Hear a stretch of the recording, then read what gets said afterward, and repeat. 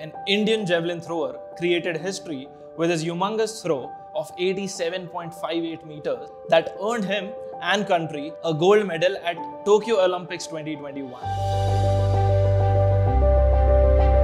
Do you know he threw javelin at an angle of 36 degrees? But why? Why not 15 degrees, 20 degrees, or 80 degrees? On what all factors does the range of throw depend? There's a lot of physics hidden in this sport. And not just this. In fact, all sports are more or less the illustrations of physics. Javelin throw animates the motion of an object under the effect of gravity in a plane. Welcome to this course, Projectile Motion, where we'll seek answers to such mind boggling questions.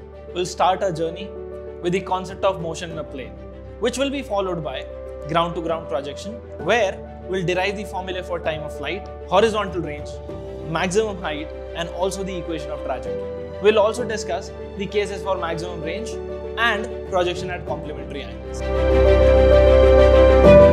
We'll discuss several other cases of projectile motion, such as projection from a tower, projection on an inclined plane, and not just that, we'll also discuss several real life problems and such questions which you may come across in examinations. I'm Lavish Medatwal. Let's start learning with Tutorac.